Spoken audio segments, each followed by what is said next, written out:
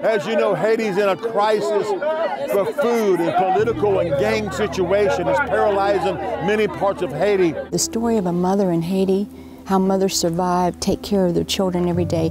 They're the hardest working people in the world. Comment y a-t-il moun yo men? Bon, grâce à Dieu, nous là, la vie pas bonne mais nous. Là nous joindre nous pas. Là nous pas joindre nous.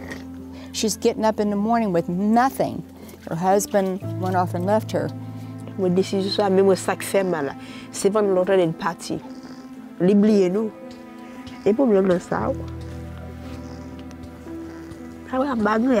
Mal.